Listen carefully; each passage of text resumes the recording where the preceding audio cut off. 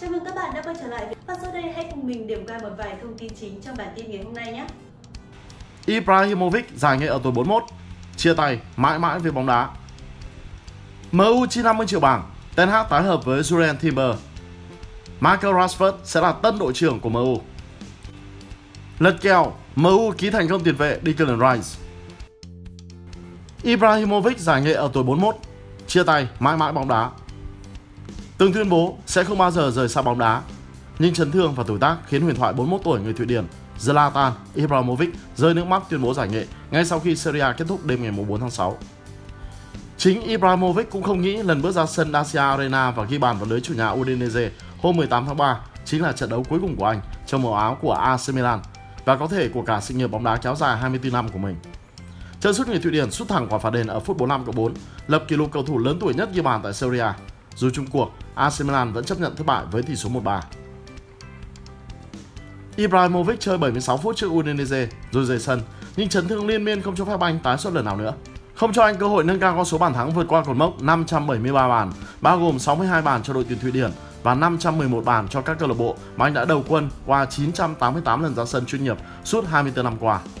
Hợp đồng của Ibrahimovic với AC Milan có giá trị đến hết mùa giải 2022-2023 và anh mong điều khoản chấm dứt có giá trị ngay sau đêm ngày 4 tháng 6. Từ phủ nhận khó lòng từ bỏ bóng đá, nhưng hình ảnh Zlatan Ibrahimovic rơi nước mắt tuyên bố giã từ sự nghiệp khiến cả thế giới xúc động. Người hâm mộ tại San Siro đã chia tay với tiền đạo 41 tuổi người Thụy Điển trước trận đấu cuối cùng của câu lạc bộ, dù anh không thể ra sân như mong đợi. Đề cập đến hai giai đoạn gắn bó với câu lạc bộ AC Milan, Ibrahimovic nghẹn ngào. Lần đầu tiên tôi đến, các bạn đã cho tôi hạnh phúc. Còn lần thứ hai, các bạn cho tôi tình yêu. Tôi muốn cảm ơn gia đình và những người gần gũi với tôi vì sự kiên nhẫn. Tôi muốn cảm ơn gia đình thứ hai của mình là câu lạc bộ AC Milan. Các cầu thủ, huấn luyện viên và nhân viên, cả giám đốc vì cơ hội mà họ đã trao cho tôi. Người hâm mộ đã chào đón tôi với vòng tay rộng mở và tôi sẽ là một Milanista trong suốt cuộc đời mình. Đã đến lúc nói lời tạm biệt với bóng đá. Forza Milan Sự nghiệp chuyên nghiệp của Ibrahimovic bắt đầu tại câu lạc bộ Malmo ở quê nhà, Thụy Điển vào năm 1999 trước khi anh chuyển đến thi đấu cho câu lạc bộ Ajax, Juventus, Inter Milan, Barcelona, AC Milan, PSG, Man United và Los Angeles Galaxy. Anh trở lại Milan vào năm 2020 và cùng với Rossoneri dương cao chiếc cúp vô địch Serie A năm 2022 sau lần đầu tiên từ 11 năm trước đó. Ibrahimovic là cầu thủ ghi bàn hàng đầu mọi thời đại của Thụy Điển với 62 bàn thắng sau 122 trận đấu. Anh rời đội tuyển quốc gia vào năm 2016 và mới trở lại sau 5 năm. Những chấn thương gần đây khiến ngôi sao này vắng mặt trong giai đoạn cuối mùa giải của câu lạc bộ AC Milan. Từng tuyên bố không phải là người bỏ cuộc và thề sẽ tiếp tục thi đấu. Nhưng giờ đây, Ibrahimovic quyết định trao giải, đặt dấu chấm hết cho một trong những sự nghiệp thi đấu ấn tượng nhất trong lịch sử bóng đá thế giới. Sự nghiệp Zlatan Ibrahimovic Malmo từ năm 1999 cho tới năm 2001, 47 trận, 18 bàn. Câu lạc bộ Ajax 2001, 2004, 110 trận, 48 bàn. Juventus 2004 tới năm 2006, 92 trận, 26 bàn. Inter Milan 2006 tới năm 2009, 117 trận, 66 bàn. Barcelona 2009 cho tới 2010, 46 trận, 22 bàn. Câu lạc bộ AC Milan 2010, 2012, 85 trận, 56 bàn. Paris Saint-Germain 2012, 2016, 180 trận, 156 bàn. Man United 2016, 2018, 53 trận, 29 bàn. Los Angeles Galaxy 2018, 2019, 58 trận, 53 bàn. AC Milan 2020, 2023, 78 trận, 37 bàn.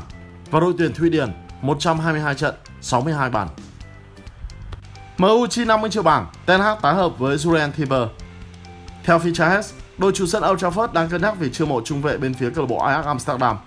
Julian Timber là một trong số những sản phẩm ưu tú trưởng thành từ lò đào tạo trẻ của câu lạc bộ Ajax. Dưới sự dẫn dắt của huấn luyện viên Ten Hag, cầu thủ người Hà Lan sớm vươn mình trở thành một trong những hậu vệ hay nhất của giải vô địch quốc gia Hà Lan.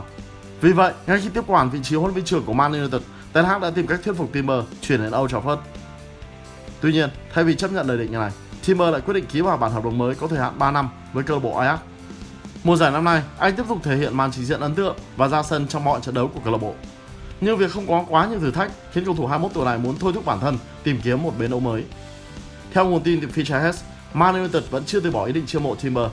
Họ đã cân nhắc việc gửi đến câu lạc bộ Ajax lời đề nghị trị giá khoảng 50 triệu bảng để chốt hạ thương vụ này. Với khả năng thi đấu ở cả vị trí trung vệ lẫn hậu vệ phải, Timber có thể giải quyết gần như mọi khó khăn cho hàng thủ của Quỷ Đỏ. Vừa qua, Người hâm mộ cũng phát hiện hình ảnh của Timber đến Wembley để xem trận chung kết Cúp FA giữa Man United và Man City. Rashford sẽ là tân đội trưởng của MU. Các fan của MU tin rằng Marco Rashford sẽ là đội trưởng tiếp theo của câu lạc bộ sau khi nhận ra những gì anh đã làm sau trận thua ở chung kết Cúp FA trước Man City đêm ngày 3 tháng 6. Man United đã bị Man City đánh bại với tỷ số 2-1 trong trận chung kết Cúp FA mới diễn ra đêm thứ Bảy ngày 3 tháng 6. Sau tính còi mãn cuộc, những ngôi sao của MU đã ngã vật ra sân đầy thất vọng. Tuy nhiên, Marcus Rashford, người dính chấn thương ở những phút cuối trận, đã quên đi những khó khăn của chính mình và đi xung quanh nâng các đồng đội đứng dậy và hỗ trợ họ. Trong một đoạn clip được đăng tải trên mạng xã hội, có thể thấy tiền đạo người Anh đang giúp Wout và Alexandro Garnacho đang chán nản rời khỏi sân Wembley. Sau khi hỗ trợ các đồng đội của mình, Marcus Rashford có thêm hành động vỗ tay cảm ơn người hâm mộ đội bóng có mặt tại Wembley để cổ vũ đội nhà trong một cử chỉ được nhiều fan ca ngợi là đẳng cấp thuần túy và thúc giục anh trở thành đội trưởng tiếp theo của đội bóng. Một người hâm mộ đã tweet như sau: Đẳng cấp thuần túy từ Marcus Rashford, người đã vực dậy những đồng đội đang chán nản sau trận thua. Đội trưởng tương lai của câu lạc bộ đang hình thành. Một người khác viết: rất tôn trọng Marcus Rashford. Người thứ ba viết: Đội trưởng của tôi kèm theo biểu tượng hình trái tim. Một người khác quả quyết chắc chắn là đội trưởng trong tương lai rồi. Harry Maguire là đội trưởng hiện tại của câu lạc bộ Man United, nhưng Bruno Fernandes thường đeo băng đội trưởng khi hậu vệ người Anh không thường xuyên được thi đấu. Tuyển thủ Anh đang trên đường rời khỏi câu lạc bộ vào mùa hè này. Đồng thời, với việc huấn luyện viên Erik ten Hag sẽ phải bổ nhiệm một đội trưởng mới vào mùa giải tới. Lật kèo, MU ký thành công tiền vệ Declan Rice. Theo Football Insider, đội chủ sân Old Trafford hoàn toàn có khả năng giành chiến thắng ở thương vụ Declan Rice trong mùa hè năm nay. Arsenal được đánh giá là có khả năng cao chiêu mộ Declan Rice. Cầu thủ này có lý do để hứng thú với dự án của pháo thủ khi đội bóng đang thay đổi mạnh mẽ. Theo truyền thông Anh, đội chủ sân Emirates xứng đáng là ứng cử viên sáng giá để sở hữu chữ ký của Declan Rice.